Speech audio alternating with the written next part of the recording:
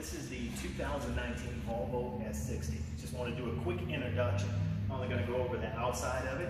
One of the first things you'll see that really sets it apart, now this is going to be an R design, so you're going to have a horizontal grille rather than vertical, and the face of the vehicle is going to be a little bit longer or lower to the ground. One of the things that actually helps with lowering it is the body inserts.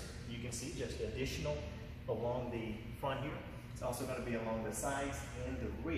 Kind of gives it a lowered look. Uh, really helps with the appearance of vehicle. Now the R design is actually made to give you more sportier hints than, let's just say, an inscription or a momentum, which could possibly be your other selection. A couple of things. On the face of the vehicle, which is going to be the front here, you can see the high gloss inserts, which is going to be your grill. You can also see the lower inserts as well.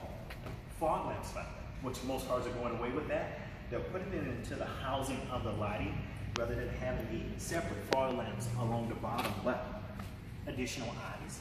Also going to help with cornering, your cornering lighting. But your high gloss inserts, your additional body insert along the bottom. Back in the day, they used to call that a ground effects kit. As we go around to the side, a couple of things that really make it stand out. I really love the side of the vehicle, and you're gonna notice that as we actually walk around. We're dealing with tight quarters, so you might not get a full view, but we're just gonna walk you from front to back so you get a general picture of the scope of the vehicle. One of the first things is the flat nose front end really makes the Volvo product distinctive. You'll notice that on a number of their other vehicles, which really helps them to stand out, stand out from their competitors and also gives them additional pop. Now along the side, it really helps for a car to have both shoulders.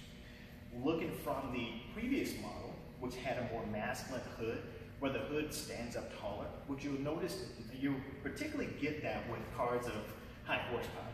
But this one has a flatter front end and very bold shoulders. You can tell by the scope of the, the side here on the panel, which really helps out. Now that's going to be an upgraded wheel, which is typically for the R design, but don't worry, you can always change your wheels Typically with most consumers, the wheels are the first thing they happen to change.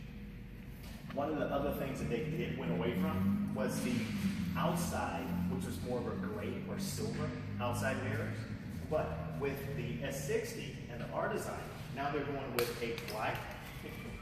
and you're gonna notice paintballs actually going by, paper balls. Don't let that distract you. We're talking about the S60. But you have the high gloss outside mirrors. That's gonna be a distinctive feature an immediate change that actually made from previous years R designs. Now, character lines. You'll notice the high character line here. You'll also notice the high character line over the hips of the vehicle. That actually helps to give it more character, further separates it from our competitors, but at the same time helps a little bit with airflow. But definitely gives it a little bit more character with it being an S60. Come around to the back side. Remember that body insert I showed you along the front? You have the same thing along the side. Just gonna help you get more of a lowered effect and gives it more of a powerful look as well. Now, you're standing in a great area because from here you can take a look at the sculpted rear end. This really helps because notice the angle here. You remember back in the day you used to have spoilers? Where on this vehicle, because of the way it's angled, you really don't have a need for that because you already have the look you're looking for, which is more of a scoop look. Adds a little bit, you've heard me mention a number of different times, more character, separates it from the competitor, which that's all of what the automobile market is about. So when you're going from vehicle to vehicle, dealer to dealer, this vehicle is something that you'll definitely remember long term. Take a look at the back end. Body insert. Notice your exhaust dual exhaust, both sides separated. So you do have it on the left side of the vehicle and the right side of the vehicle. Always point that out. Very masculine feature. You'll notice that on some of your other powered vehicles, such as the Ford Mustang, the Chevy SS, different vehicles of that sort. But very nice job what they've actually done there.